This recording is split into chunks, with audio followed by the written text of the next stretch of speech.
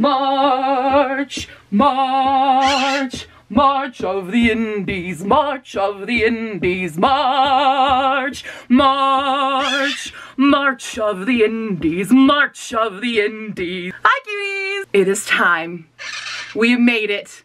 I have been collecting books all year long, and by all year long, I mean since last March of 2019. If you are new to this, welcome. This is the month where I read exclusively indie published books, but I'll also be reading some other ones, but I'll explain that in a moment. I go to a plethora of conventions over the year, and we're in this accent now. And I meet a lot of other indie authors like myself. And I don't know about you, but I'm not really a person who buys a lot of books. Um, I just, I think they, they clutter too much and I definitely prefer ebooks over physical books because I just don't like having that many surrounding me all of the time. So, what?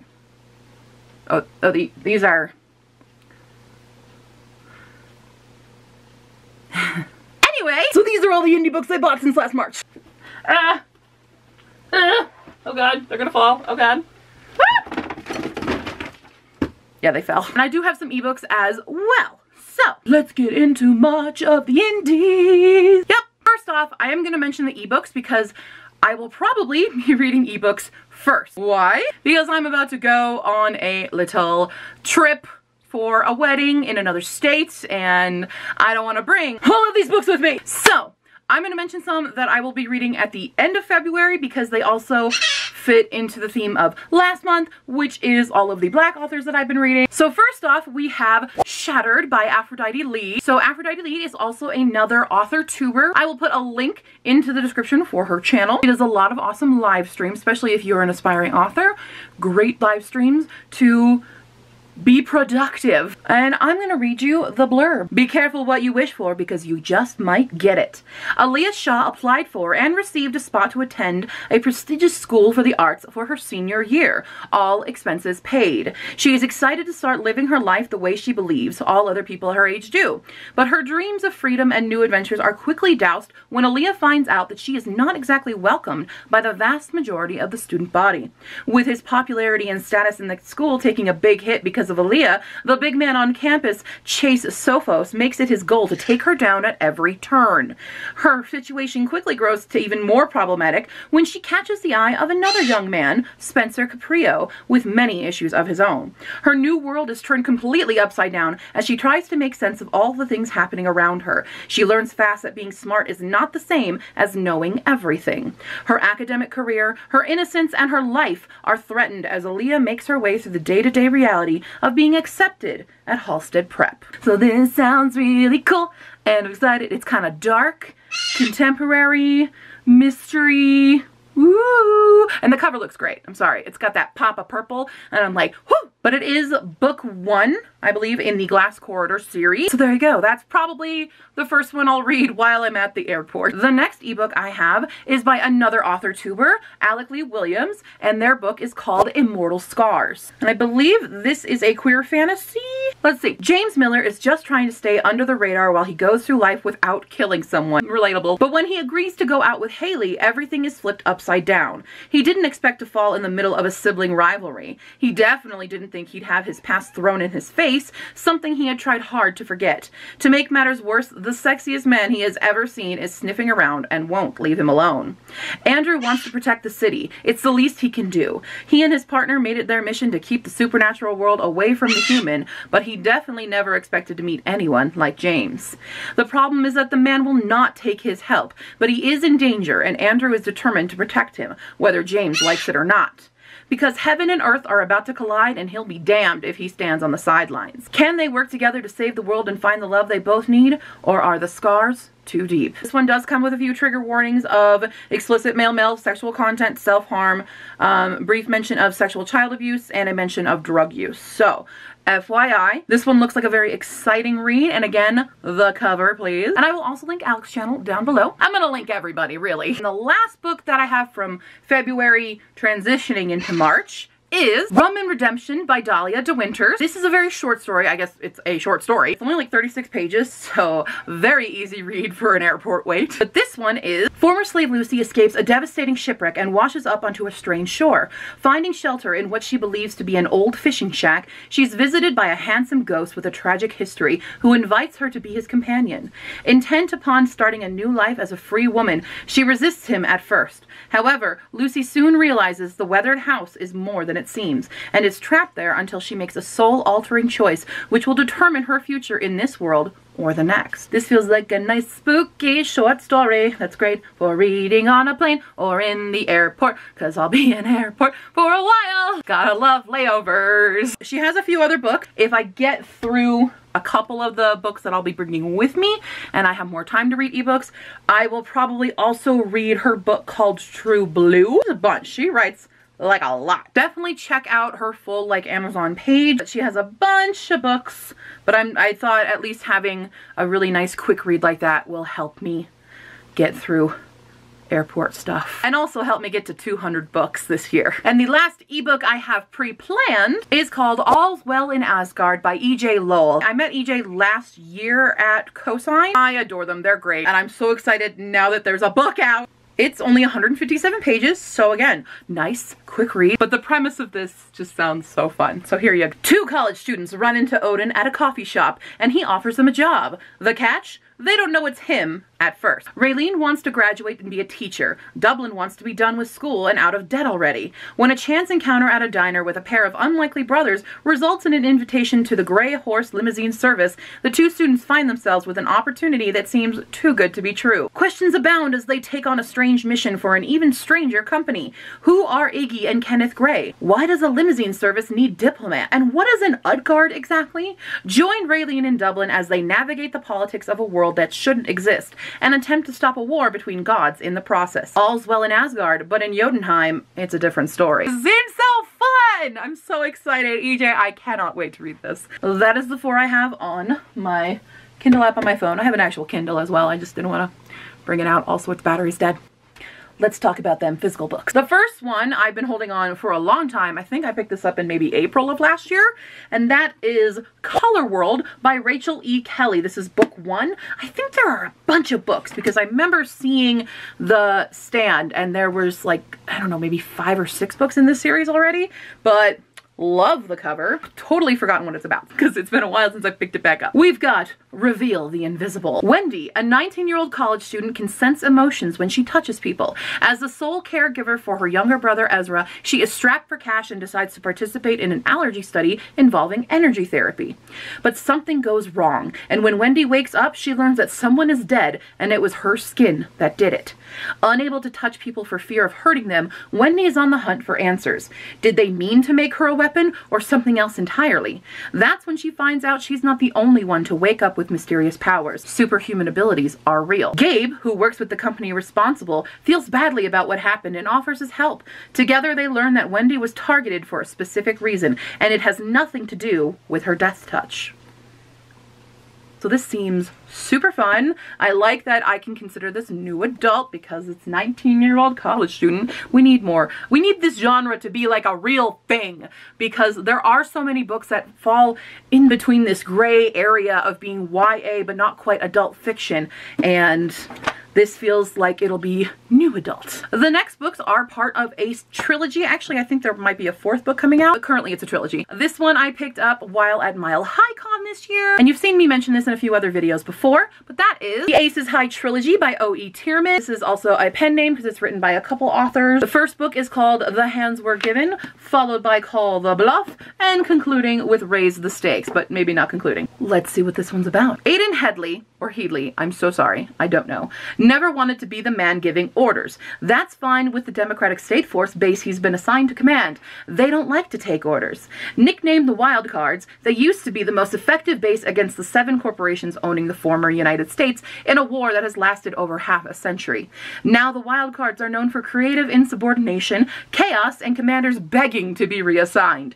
Aiden is their last chance. If he can pull off his assignment as commander and yank his ragtag crew of dreamers and fighters together, maybe they can get back to doing what they came to do, fighting for a country worth living in. Life's a bitch. She deals off the bottom of the deck, but you play the hands you're given. So this seems very, very fun. This is a good like cyberpunky series and I think it'll be very, very fun. I do know that I was warned about some explicit scenes, so fair warning for that. As long as I have warning to those things, my little ace heart is a-okay. Switching gears entirely into middle grade land, we have Red Dragon's Keep by Natalie VanDerWerken. I met Natalie a couple mile high cons ago, but I finally was able to pick up her book, and this is the first, I believe, of five as well of the Dragon's Children series. It's also a Best Book Awards finalist, so that's really cool. So here we go. Demons want to kill him, dragons need to save him. Mages, demons, and a talisman plague firstborn son and heir Thomas Arak in the first book of the Dragon's Children fantasy series.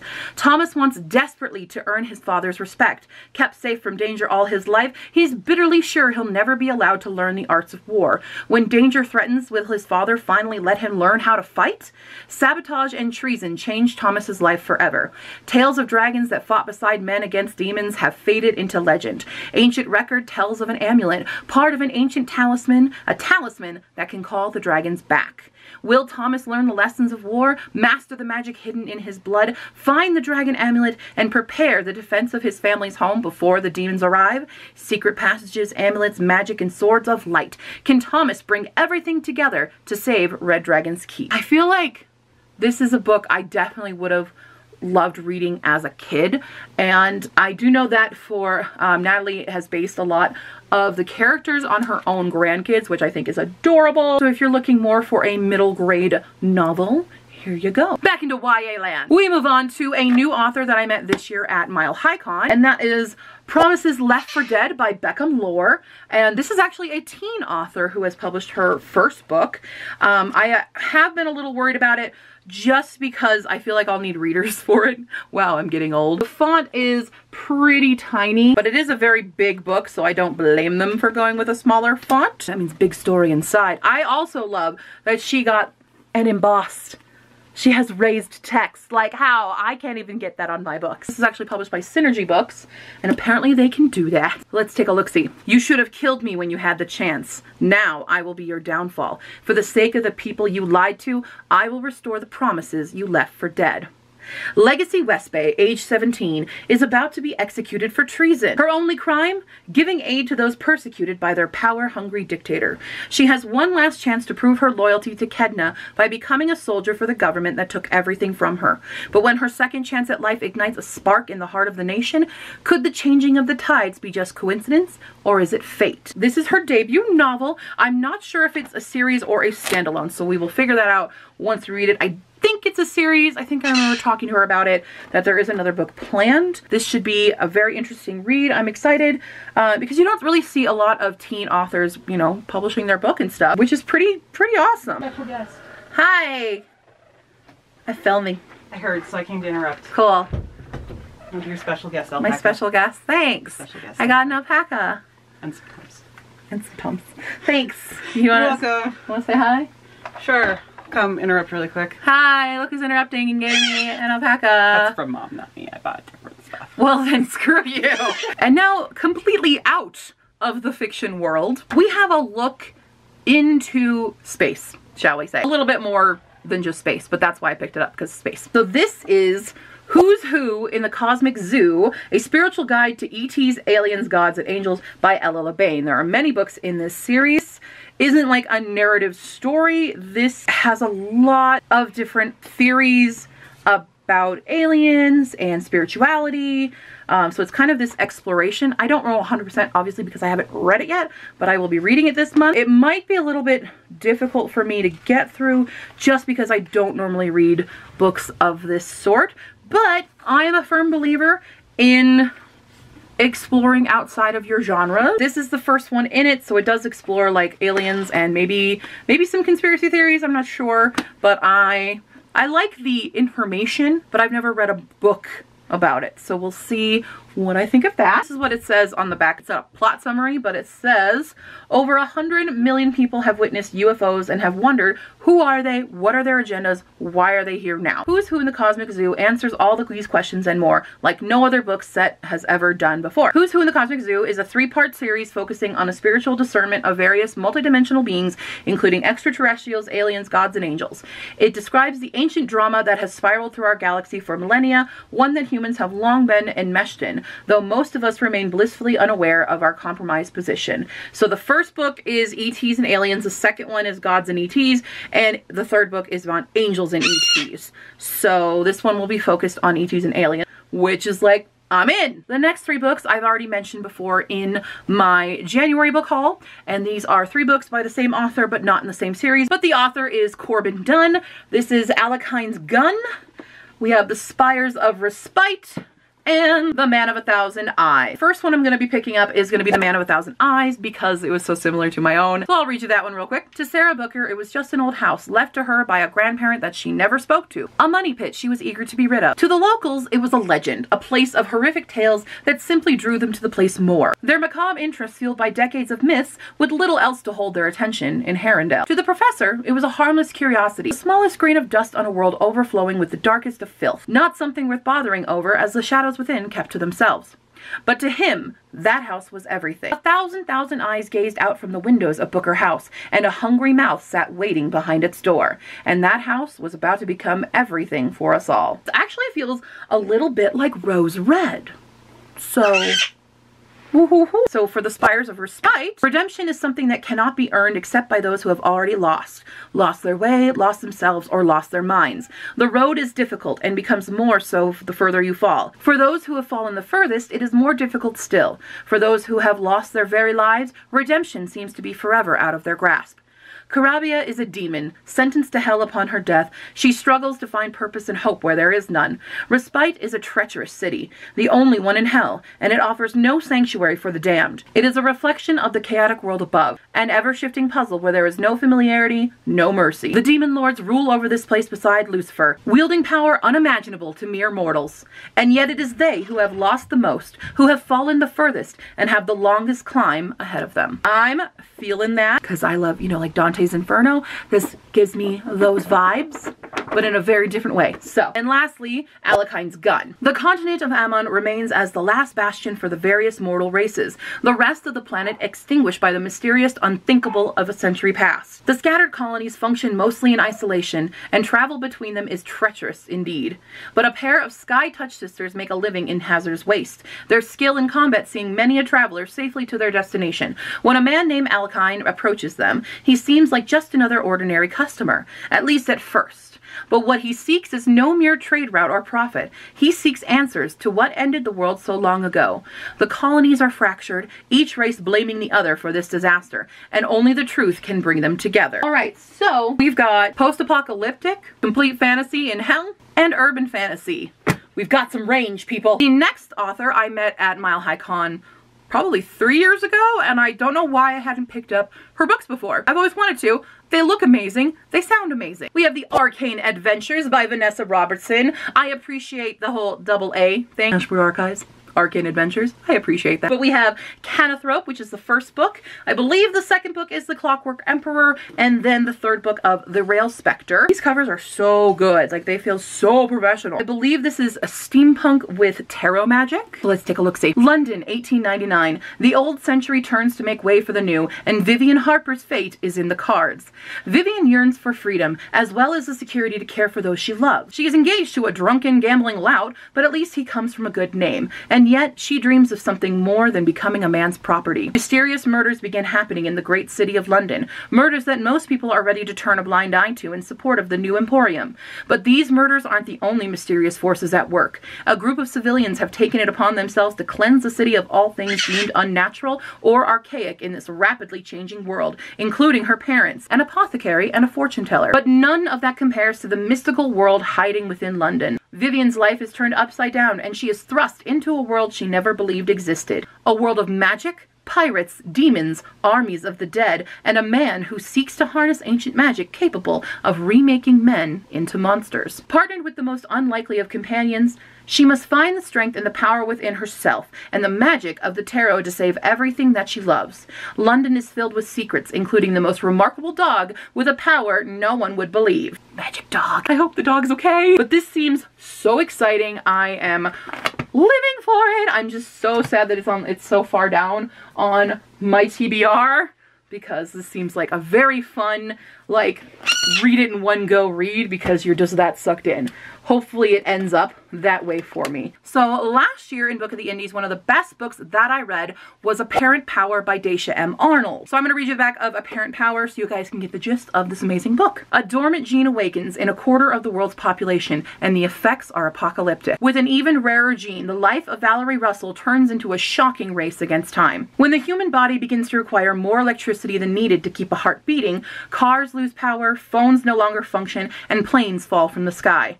Stranded in southern Colorado, a hundred miles from home and from her two-year-old son, Valerie must find it within herself to trek the distance with the help of a questionable assembly of ex-military friends of the family. But the awakening has a different effect on Valerie. While others absorb electricity, Valerie's abilities are not as limited, making her the key to unlocking a worldwide genocide of those who are not affected. As she evades the rising totalitarian government, Valerie is also faced with a moral choice, risk failure and attempt to save the masses from the regime's deadly plot, or run and preserve only the lives of her family. How does a mother make such an impossible choice? And we're going to dive into Sasha's story, and she becomes a member of the Reactants, which I think is like the rebel organization that sprouts up from this whole worldwide catastrophe and new rule. And lastly is a book I picked up at Minicon and that is Unkillable Joe by Joe Vallon. This is kind of a dark humor I believe. Uh, Joe has a podcast called The Mighty Pen Podcast and is also a comic book artist but this is his novel which I think also breaks uh, fourth wall a lot, which seems really fun. What does a warrior queen from space, an all-powerful god, and a necromancing frog have in common? Whatever it is, it has something to do with this book. Unkillable Joe is what happens when a subpar comic creator accidentally obtains the power to destroy the universe with the stroke of a pen. It sounds far-fetched, but it could happen to anyone. Who's your maker? That's the entire blurb, so I don't really know the entire plot of this. That's the last one on my TBR list for March of the Indies. Or is it? It's not. As you know, for a lot of indie creators, audiobooks are very difficult to do. I'm endeavoring to do that this year and it's difficult, especially when your voice is dying. We must delve into the TBR bag. But want to know something really funny? I had to update the TBR bag. So these are all the books on shelf. These are all the audiobooks now. So we're gonna pull, we're gonna see how many we do. I'm, I intend to pull at least five, but if I pull something that has like a big series, um, then I might adjust that. So, four audiobooks. Here we go. The first one, oh boy, is a big book. This is Moon Chosen by PC Cast. As you can see, it's a very big book. Uh, it's almost 600 pages. I was trying to save this for September during Big Book Month, but eh, we'll do it now. There are three books, and so I will read all three of those. So we'll see what I get for the next books. I do read a lot of audiobooks during the month though, thanks to work, so let's go. Strange Grace by Tessa Gratton. I don't know if this has a series, but I think the only audiobook I have is gonna be one. So that's one audiobook. Next one, the next one. Let's kinda, oh, I really wanna shuffle them all up. Oh, one fell out. That's the one we're doing. This one's gonna be spooky. This was actually released last year, I believe. Yes, it did. 2019. I keep getting pink ones. The Gilded Wolves by Roshani Chokshi. Yes, this was picked up because of its beautiful cover. I have heard mixed reviews for this one. Um, a lot of people getting bored with it, but we'll see how I like the audiobook version of that. And there you go. There's my March of the Indies, March of the Indies. Let's read a bunch of books again. How many books is that? That's 22 books. 22 books in the March. It's fine. What books are you guys reading in March? Put them down below. Are you doing your own March of the Indies? Let me know. Maybe we can buddy read some of these. And if you're looking for an indie book to read, you can always choose mine. And if you guys like this video and the other content that I create, please check out my Ko-fi page and you can buy me a hot chocolate or you can commission me to do stuff. I have commissions open. You can get a shout out on one of these videos. You can force me to read a book that will immediately go on my TBR and will be read within the month of its request unless it's requested like the last day of March.